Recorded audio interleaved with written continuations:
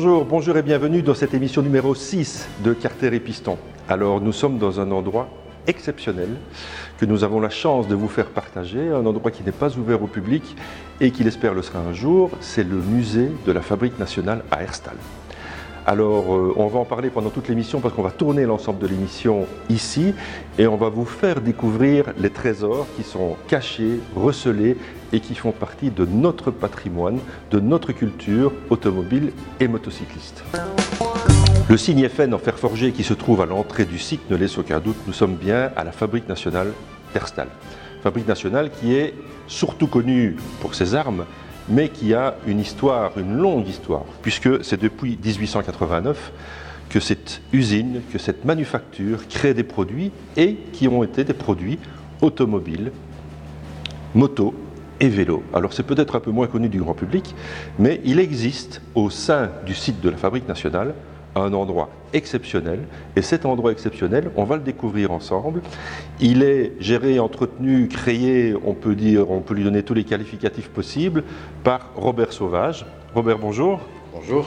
Robert, tu es euh, l'ex-porte-parole de la Fabrique nationale et à ce titre, tu as créé Ars Mechanica, qui est en fait l'endroit où on va retrouver le patrimoine de la FN en termes de véhicules. Oui, exact. En fait, euh, je n'ai rien créé du tout. C'est l'entreprise elle-même qui, au vu de son, sa longue existence, bientôt 130 ans d'existence, a voulu se souvenir euh, de son passé, un passé prestigieux, notamment dans le domaine automobile et motocycliste et euh, vélocipédique, si ça se dit encore aujourd'hui, à la fois pour se souvenir en interne de ce passé prestigieux. Nous engageons 200 personnes par an, des jeunes en général, jeunes ouvriers, employés et cadres, qui ne connaissent pas nécessairement, ce, passé, mais aussi pour nos clients.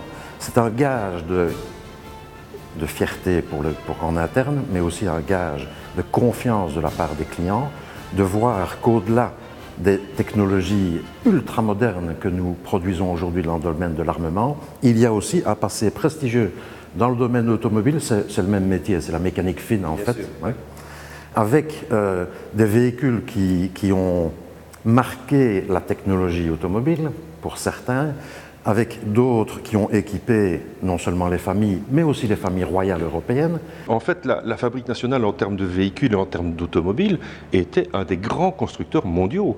Oui, oui, il y a eu en Belgique une longue histoire de l'automobile qui, qui, a disparu pour des raisons qu'on peut expliquer par ailleurs. Mais pour ce qui concerne la FN, qui était un des grands noms avec Minerva, Imperia, euh, et dans le domaine de la moto, euh, les demoiselles de Herstal, FN, Sarolea, Gilet. La FN a, notamment remporté toutes les compétitions automobiles. On a gagné quatre fois les 24 heures, la Coupe du Roi aux 24 heures de Francorchamps en automobile. Et en moto, on a remporté à peu près toutes les compétitions dans toutes les disciplines. Et notamment, avec un exemple qu'on vous présentera tout à l'heure, euh, nous avons remporté 81 records du monde de vitesse euh, et nous avons aussi été champions du monde de motocross. Et quand nous avons des visiteurs dans ce showroom, je leur dis souvent attention, nous n'avons pas été champions de Wallonie, ni de Belgique. Si, on l'a été aussi. Champion d'Europe, oh oui, quatre fois. Mais non, champion du monde. La FN a été championne du monde. Voilà. Alors, euh, on, va, on va ensemble parcourir ce musée et tu vas un peu nous, nous, raconter ce qu'on voit et, euh, et, un peu quelle est l'histoire de chaque machine parce qu'elles sont exceptionnelles, elles sont aussi dans un état exceptionnel. Donc on est évidemment ici au cœur quand il manque quelque chose sur une voiture ou une moto. J'imagine que si ici on ne sait pas le refabriquer, on ne sait le faire nulle part. Euh, il y, a, y, a, y, a, le matériel qu'il faut, mais euh, tout est dans un état juste parfait. Bon Robert, donc la fabrique nationale, elle a commencé par quoi? Alors on est en 1889. L'État belge vient de commander pour son armée nationale une série d'armes de 150 000 fusils. Ils ont choisi un fusil allemand, ce n'est pas un fusil liégeois, c'est un fusil allemand, le fusil Moser. Et euh, les armuriers locaux se réunissent dans une association supposée être momentanée, elle a 130 ans aujourd'hui, euh, pour répondre à cette commande dans les délais requis. Et non, on crée en 1889, en juillet 1889, la fabrique nationale, parce que la commande est nationale, d'armes de guerre, puisqu'à l'époque, on ne fera que cette commande. Mais très vite, les administrateurs de l'entreprise veulent diversifier la production, d'abord en exportant le, le, produit Moser, mais aussi en répondant à un appel du marché, en fin et tout début de siècle, c'est le vélo, la moto et la voiture. En 1895, on produit le premier vélo, dont nous avons un exemplaire retrouvé dans la région liégeoise. Incroyable. C'est formidable. Retrouvé quand? Oh, Il y a quelques années, euh, mais oui, oui, et, dans l'état d'origine. Enfin, c'est une pièce exceptionnelle qu'on va détailler. Euh, en 1901, la première voiture FN et la première moto FN, qui n'est jamais qu'un vélo dont on a renforcé le cadre pour supporter un petit moteur et un petit réservoir. C'est comme ça qu'on pratiquait à l'époque. Et là commence 65 années de production automobile. Et donc, euh, je te propose de faire découvrir à nos téléspectateurs euh, cet endroit magique. Bon, eh ben, écoute, on y va. Alors, quelle est la première moto que tu as envie de me faire découvrir? Alors, on a inventé pas mal de choses à la FN, et notamment une moto exceptionnelle pour l'époque, on est en 1905. C'est une moto 4 cylindres en ligne, ce qui est un commun banal aujourd'hui, mais nous étions à la FN les premiers au monde à produire une moto 4 cylindres en ligne qui faisait que, en Angleterre où cette moto avait beaucoup de succès, on l'appelait the car on two wheels, la voiture à deux roues, tellement elle était souple par rapport au mono. Et donc un 4 cylindres longitudinal 4 cylindres longitudinal pour pour produire une moto finalement très fine et très agréable à conduire pour le, pour le pilote qui n'avait pas ses quatre cylindres face à la route.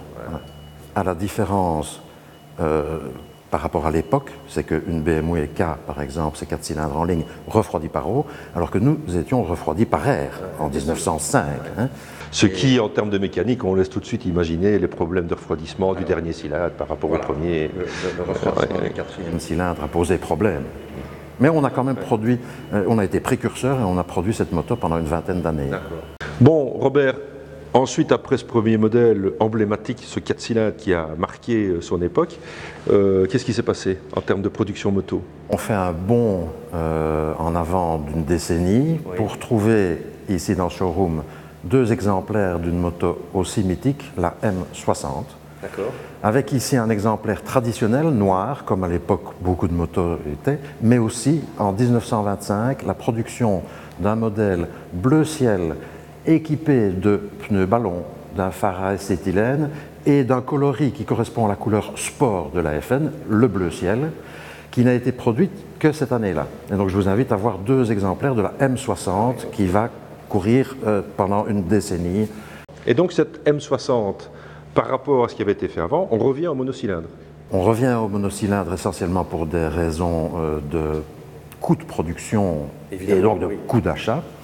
Euh, la, 4 cylindres étant relativement chère par rapport à des motos plus basiques, je dirais, mais avec des technologies nouvelles qui correspondent aux technologies des années 20, notamment sous en par exemple. Bien sûr, oui, tout à fait. Et alors ensuite, vous avez eu une sorte de petit coup de pouce qui a été généré par une initiative faite par des officiers belges qui ont décidé de partir de Bruxelles et de rallier, je crois que c'est le Congo, avec une moto qui est devenue mythique. Et donc cette moto, c'est là C'est la M70. D'accord. Hein Début de production en 1927.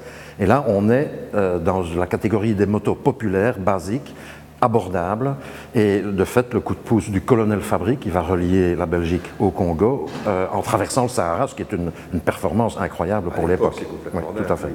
Avec des motos qui sont euh, des motos qui sont pas prévues pour, qui n'ont pas les pneumatiques pour, qui sont pas euh, équipées de filtres à air adéquats. Enfin, c'est une performance complètement dingue. On le fera aussi, j'en profite pour faire cette parenthèse, avec une moto avec un sidecar, avec la traction sur le side. Et nous serons aussi, je pense, les premiers à développer une moto équipée d'un sidecar avec traction sur le side. Technologie qui a été retenue pendant la guerre, notamment, hein, euh, principalement chez l'ennemi à l'époque, hein, sur les BMW, les DKW et ensuite sur les sidecars Ural. Oui, et, la moto dont je parle est équipée d'un moteur flat twin, comme les BMW, de 1000 cm3. Tiens donc, y aurait-il eu une inspiration Chez qui? Chez BMW ou chez nous? ah oui, voilà. Et donc ça, gros succès commercial évidemment. Euh, c'est les années de guerre, donc c'est un peu plus compliqué. Et donc pour l'époque, une production journalière d'environ 70 motos, je crois. 70 hein. motos par jour. Et d'ailleurs, au Salon de Bruxelles, on expose un, grand tableau avec la production journalière de la M70. C'était impressionnant hein, pour l'époque. Bon, après la guerre, évidemment, euh, les choses changent. Euh, c'est une période évidemment qui, pour l'entreprise, a dû être relativement florissante parce que c'est une entreprise qui vend des armes et des munitions. Et donc pendant ce temps-là, évidemment, la production automobile, moto et vélo était peut-être un peu euh, passée euh, sous silence ou en tout cas avait baissé de régime. On est après la guerre, et là, évidemment, il y a une révolution qui arrive un peu partout parce qu'il y a une reprise, évidemment, économique mondiale qui fait que tout le monde se réveille un petit peu et tout le monde commence à produire des véhicules. Et là, ça devient un peu plus compliqué pour la FN. J'en profite pour dire que avant la guerre, en 1935, on arrête la production des automobiles FN pour la simple raison que, après la crise de 29, les frontières nationales en Europe se sont fermées et que si certains pays d'une taille suffisante pour absorber une production automobile peuvent faire perdurer leur industrie automobile. Ce n'est pas le cas de la Belgique. Mais euh, on est au milieu des années 50 quand nous produisons la dernière, que nous, nous présentons au Salon de Bruxelles la dernière moto de forte cylindrée FN, qui est une 500 cm3. Donc deux exemplaires existent. Un qui était destiné aux tests, aux essais, et l'autre qui était destiné à être présenté au Salon de Bruxelles en janvier 50. Et là, c'est un peu le glas de la production C'est le glas parce que le, le, marché est en train d'évoluer notamment les, producteurs japonais, arrivent avec un concept de moto plus léger, plus destiné aux loisirs, moins cher, plus coloré, à une époque où nous, FN, nous continuions à fabriquer des motos destinées aux familles qui n'avaient pas les moyens d'acheter une voiture. Oui, parce qu'en fait, il faut bien se rappeler qu'à l'époque, la moto est un objet social. Donc euh, ceux qui n'avaient pas la possibilité d'acheter une voiture se déplacer en moto ou en sidecar. D'ailleurs, à propos de sidecar, il y en a un ici qui est exceptionnel. La M86 est équipée, c'est une moto de luxe la M86. Euh, elle est équipée d'un sidecar précision, fabrication belge, mais nous ne fabriquions pas, nous faisions simplement l'alliance entre, entre la moto et le sidecar. Et c'est un modèle unique. Et la M86 est la moto qui a euh, gagné le plus de records de vitesse. 81, euh, si je ne m'abuse, dont une grande partie par la même 86. Oui, incroyable. Et donc une autre partie de l'histoire aussi, puisqu'on est dans, la partie sociale de l'utilisation des deux roues, c'est évidemment les cyclos et les 50 cm3. Oui, alors on arrête donc, comme je le disais, la production des grosses cylindrées en 1955, mais on va continuer pendant encore 10 ans, jusqu'en 1965, avec ce qu'on a appelé pour ce qui concerne la FN, les vélomoteurs FN, mais dans la famille des euh, demoiselles de Herstal, au nom FN, Sarolea et Gilet. Bon, on, est dans l'univers de la FN, univers qui a quand même été aussi celui de la course, puisque l'ADN aussi de la marque était la compétition. Et il y a une autre marque qui a cet ADN aussi, c'est Ducati. Alors, euh, Ducati sort des modèles de course et des modèles sportifs depuis des décennies, et là, ils viennent quand même de faire, à mon avis, ce que on pourrait appeler le coup final, mais on dit ça à chaque moto qui sort, c'est pas le coup final. Ils viennent de sortir la Ducati avec le moteur V4. Et donc, euh, c'est la Panigale V4 qu'on a eu la chance d'essayer sur le circuit de Spa. Ça fait, dans sa version d'origine, 225 chevaux pour un peu moins de 180 kg. C'est un missile sol-sol, mais c'est ce qui se rapproche le plus aussi d'une MotoGP. Et lors de cet essai, on a eu l'occasion aussi de le faire avec Xavier Siméon, qui depuis cette année est en MotoGP sur des Ducati, et on a eu son retour d'expérience également. Je te propose de découvrir ça en image. On part à Spa, essayer la Ducati V4 Panigale.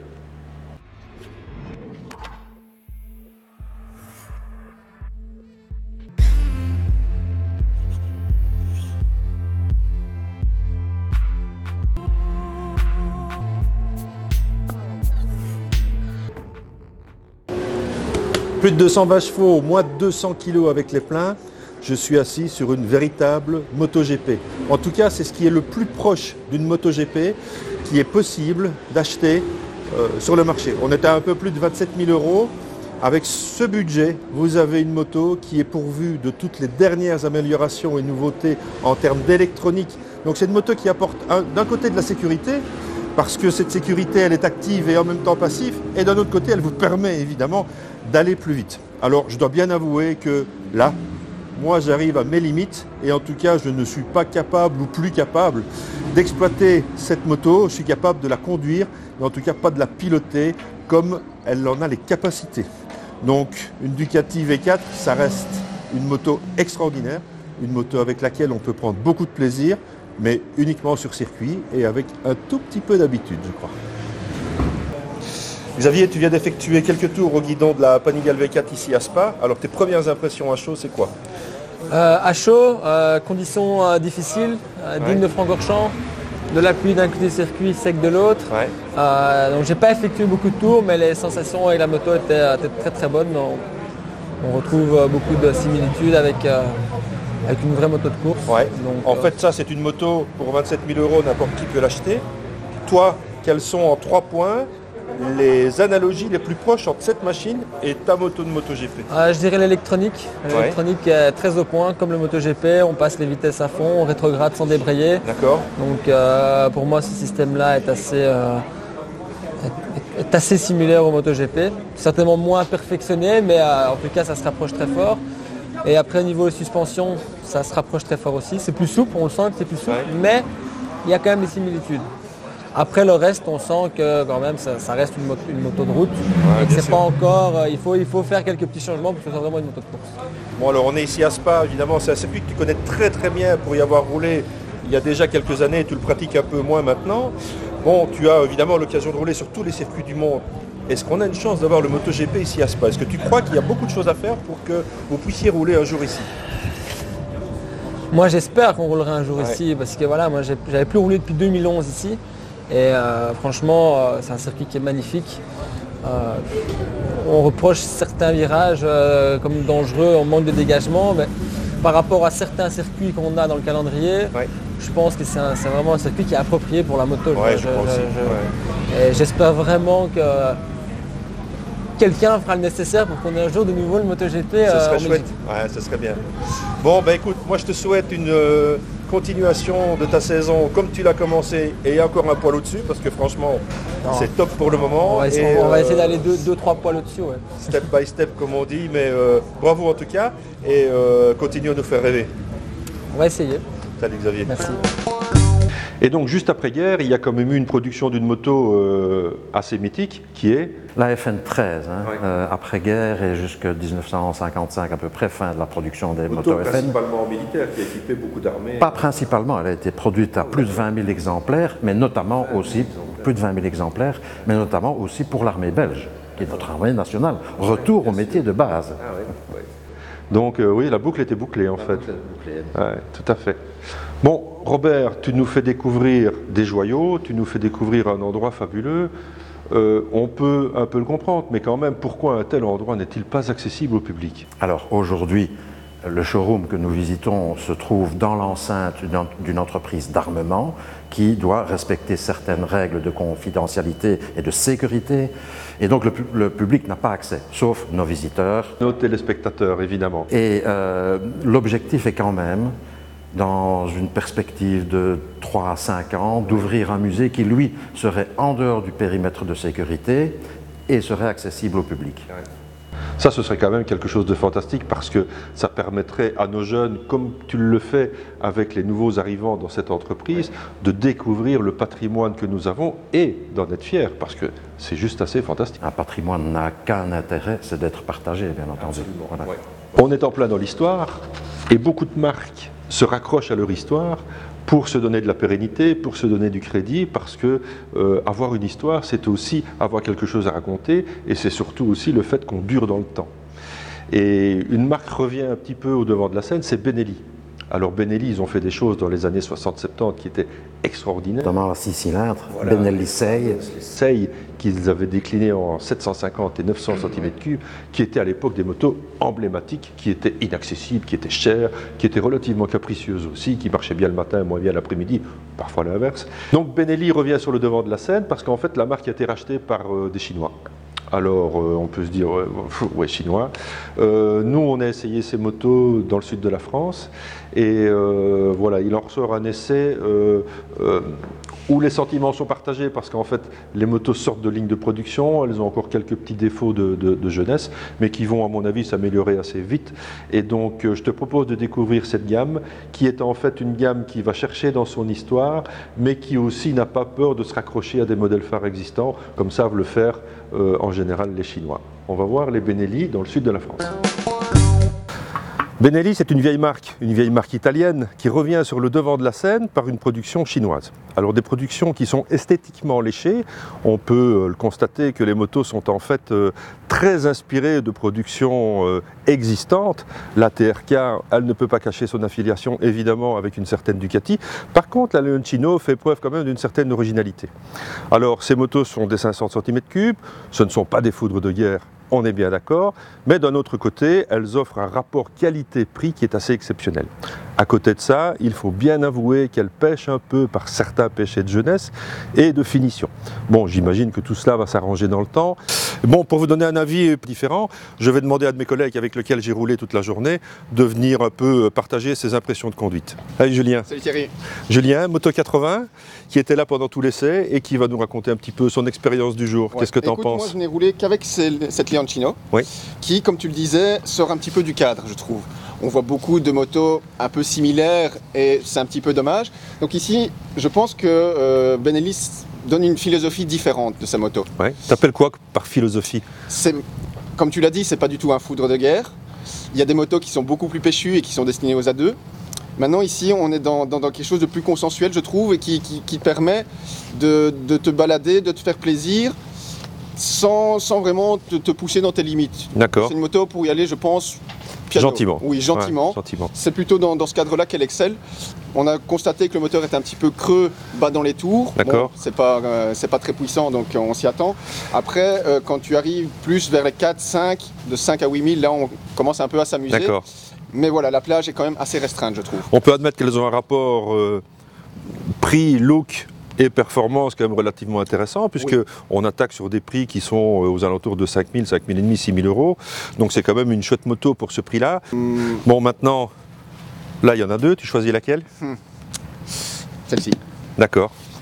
Oui, à Bruxelles, ça peut le faire, ça? Je pense. On, a constaté vraiment un bon, bon rayon de braquage aussi, j'ai trouvé. Assez d'agilité, donc pour celui qui va évoluer dans les villes, je pense que c'est un bon compromis. Ouais. Ouais, Mais pour le moment, ces motos sont agréables à piloter, le moteur fait vraiment un bruit assez envoûtant. Euh, il y a des petites choses à améliorer euh, à tous les niveaux, au niveau du réglage des suspensions et au niveau de certaines finitions. À côté de ça, on peut s'estimer euh, de nouveau rentrer dans l'histoire et de rouler différent. Finalement, c'est pas mal de rouler différent.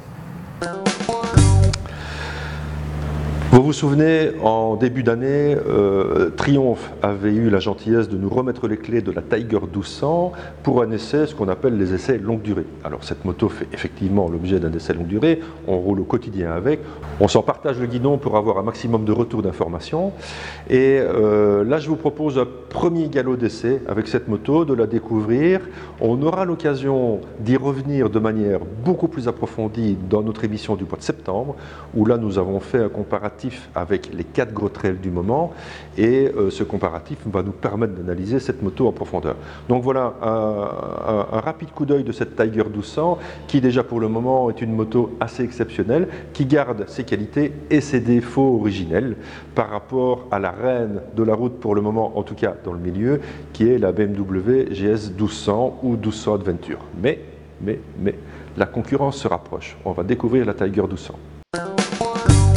La nouvelle Triumph Tiger en chiffres, c'est 141 chevaux, 3 cylindres, 6 modes de conduite, 10 kg de moins que sa devancière, un tableau de bord TFT ultra complet, des feulettes directionnelles, un pare-brise électrique, des suspensions semi-actives, un shifter up and down, un système de clé intelligente, une fonction anti-recul, un ABS, bref, tout ce qu'on peut trouver actuellement en termes d'équipement électronique sur une moto, cette triomphe-là d'origine. Tant nous avons demandé à Olivier Morel, Olivier est un motard depuis toujours et sa monture actuelle est une KTM SM 990, mais Olivier a possédé une Triumph, il nous en parle.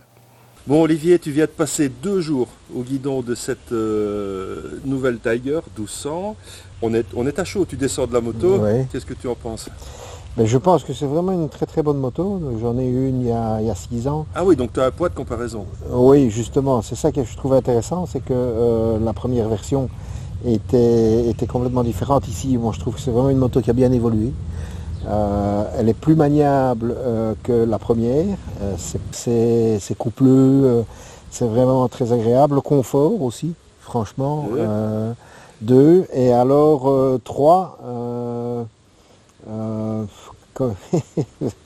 3. Tout seul ou même à deux, j'ai l'impression qu'on peut, on peut vraiment aller loin. Moins convaincant, c'est le poids. Ça, ça reste quand même quelque chose qui m'a vraiment frappé, et sur la première version, et sur la deuxième. Moi qui suis petit, évidemment, ça n'arrange pas euh, les choses, mais euh, au niveau maniabilité, par exemple, pour la parquer, des choses comme ça, j'ai quand même l'impression qu'une 1200 GS, c'est plus facile. Enfin voilà, sinon franchement, c'était vraiment très agréable.